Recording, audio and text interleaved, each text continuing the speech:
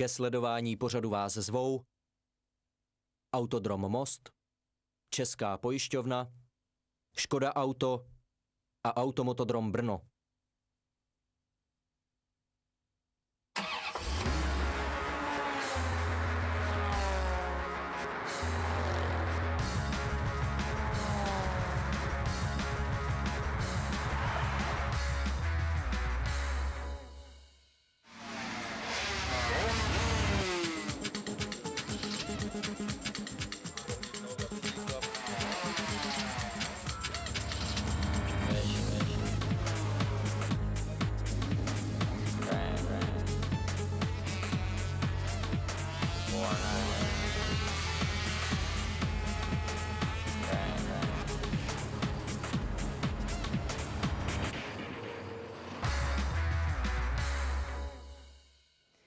Věkový limit v mistrovství světa před dvěma lety uzavřel cestu do startovního pole 125 Jaroslavu Hulešovi a nyní brání ve startu Igoru Kalábovi. Igor se tedy vydal cestou mistrovství Evropy a sklízí jednu medaili za druhou. Příštím roce snad osedlá 250.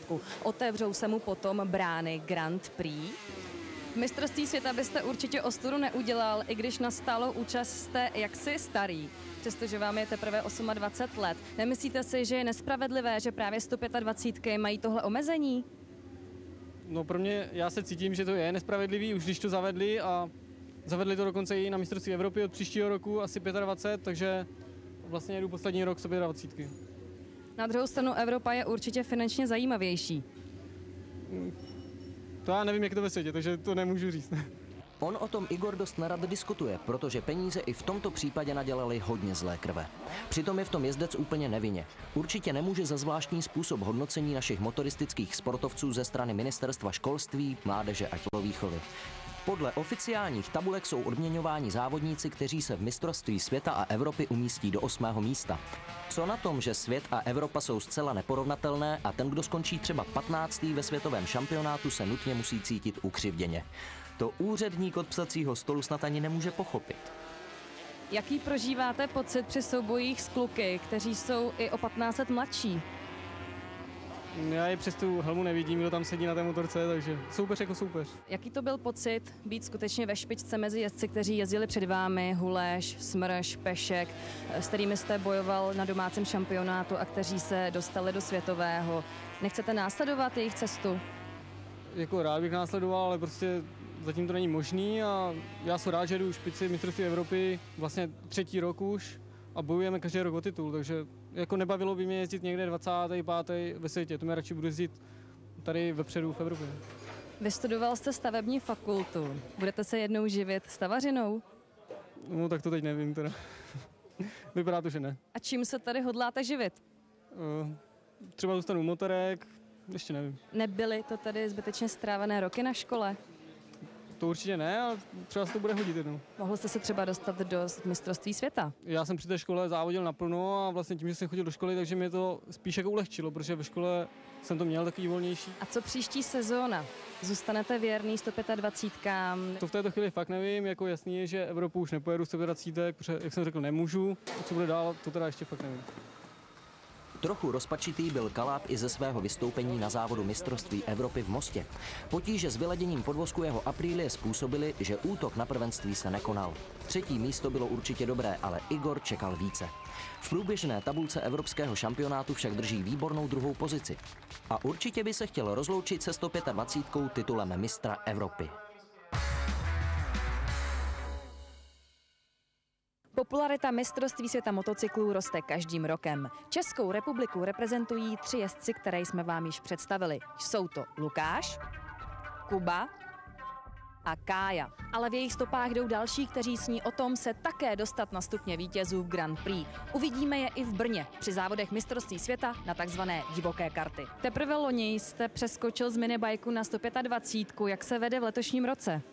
Tak zatím se vede dobře, zatím spokojenost, protože jsme dokázali to, co jsme chtěli, i to, co jsme vůbec nečekali a uvidíme, jak se vyvine další sezóna. Zatím jako tým funguje, funguje perfektně a zatím dobrý. Co divoká karta na GP v Brně? Uvidíme vás.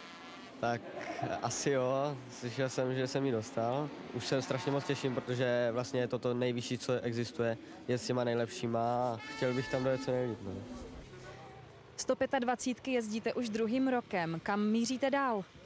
Chtěli bychom se dostat do mistrovství Evropy, ale tohle to všechno záleží na technice a hlavně na výkonech.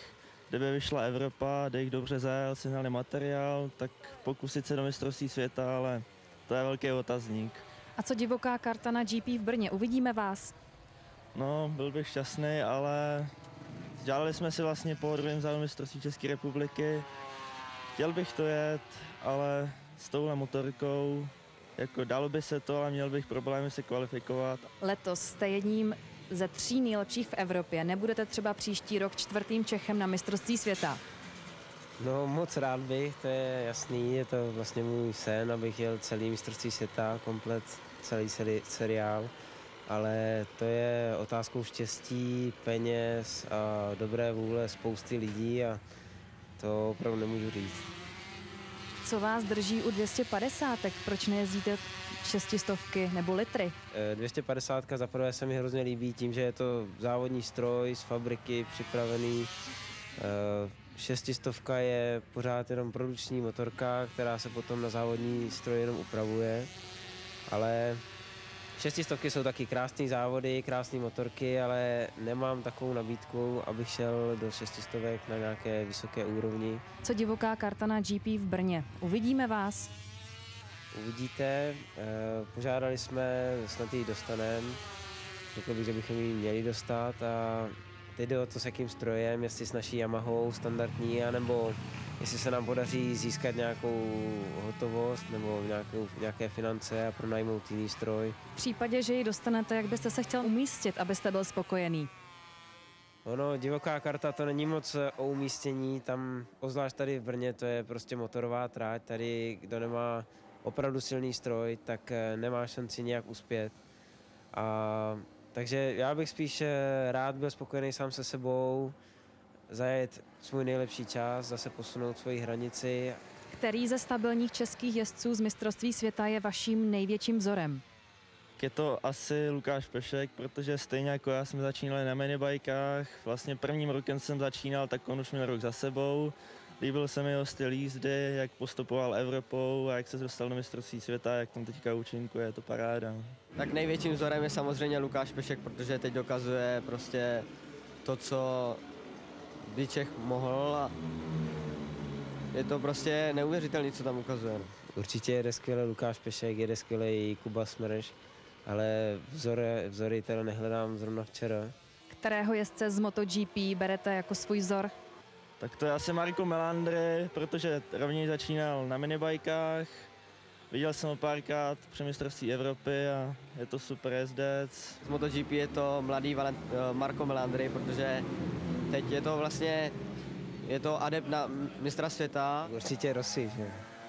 To je nejlepší.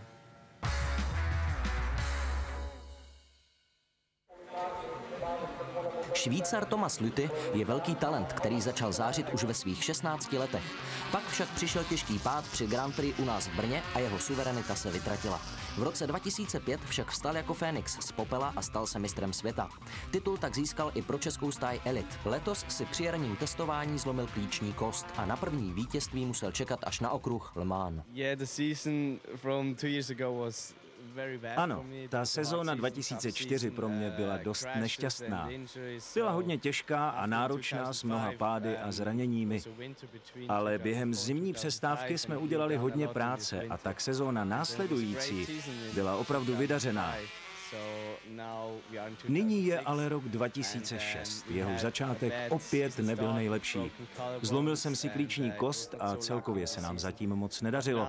Teď se ale pomalu dostáváme zpět nahoru do první desítky a jsem přesvědčen, že je jen otázkou času, než se mezi špičkou budeme držet stabilně. Pocházíte z malé vesničky ve Švýcarsku. Považují vás vaši sousedé za hrdinu nebo vás pořád mají za mladého hocha odvedle? No, v současnosti mě ve Švýcarsku zná opravdu hodně lidí. A to určitě kvůli sezóně 2005, po které se okolo mě dělo hodně věcí a užíval jsem si to. Když přijedu domů do naší vesničky, je to fajn. Když ale zajdu někam do města nebo se dobavit s kamarády, tak mě lidé poznávají a už to pro mě není tak jednoduché. Ale rozhodně si nechci na popularitu stěžovat. Vaše působení v Grand Prix do jisté míry připomíná i Čech Lukáš Pešek. Jaký je to jezdec? Letos jezdí opravdu výborně. Má stálou výkonnost a zatím v každém závodu skončil na předních příčkách. V Mugellu si dokonce vybojoval pole position a to je výborné. Myslím, že má dobré týmové zázemí a je dobrý jezdec. Co dělá Švýcar v českém týmu? Because K tomu došlo tak, že majitel týmu Daniel Ebb žije v České republice. A tak jsem tedy logicky začal jezdit a dosud jezdím pod českým týmem a s českým sponzorem.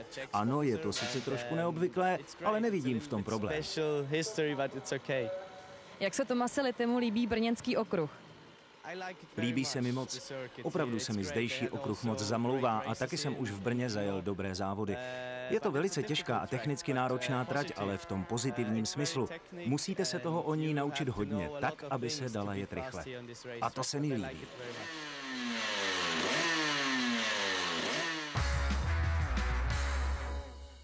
Závodech mistrovství světa vídáme na televizních obrazovkách většinou jen závodníky. Z ptačí perspektivy ovšem můžeme zahlédnout v pedoku zaplněné kamiony a neuvěřitelné hemžení nejrůznějších lidí. Co ale všechno je potřeba, aby takoví závodníci mohli jet v prestižním seriálu?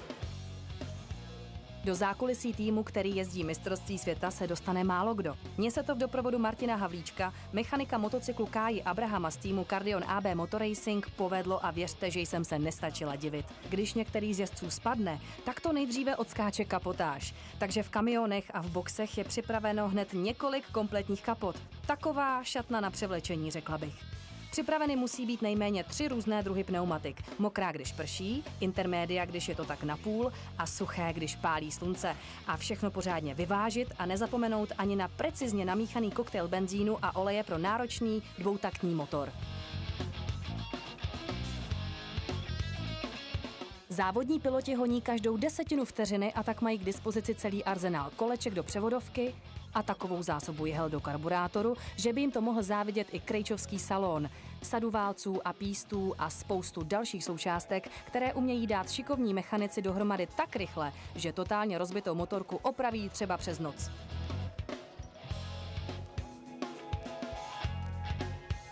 To pak ani příliš nevyužijí svou pojízdnou ubytovnu, která je součástí jednoho ze dvou týmových kamionů, které slouží pro, tak říkajíc, týlové zajištění Karla Abrahama a Jakuba Smrže. Tým pro mistrovství světa motocyklů, to je dnes sehraná skupina specialistů, ale jsou tu přece jenom lidé, kteří vědí úplně všechno. I z tak malé motorky, jako je 125, se dají vytáhnout data, která prozradí nejen převodové stupně, otáčky, teploty, charakteristiku práce tlumičů, ale například i náklon motocyklu v zatáčkách nebo sílu, kterou jezdec mačká páčku brzdy. A to všechno se pak sejde na monitoru počítače a komputeroví šamani z toho vyčtou, kde se musí polepšit závodníci a co všechno je třeba udělat se strojem, aby v příštím tréninku nebo závodu zase nějaká ta desetinka vteřiny z času na jedno kolo ubyla. Co se dnes nejvíce cení, je schopnost vyladit podvozek, především práci pérování a tlumičů. Slouží k tomu taková zdánlivě jednoduchá stolice a spousta čísel. A ti kouzelníci, kteří podvozky ladí, mají k dispozici různé pružiny, pár tisíc podložek a dokonce i mikrovlnou troubu, protože komponenty lze správně poskládat jen za co nejvěrněji simulované provozní teploty. A to jsme vám ukázali zákulisí týmu Cardion AB Motorracing jen tak letem světem, protože pochopit mnohé z důležitých detailů. Tak to pardon, to bych nejdříve musela vystudovat techniku. Hotová alchymie.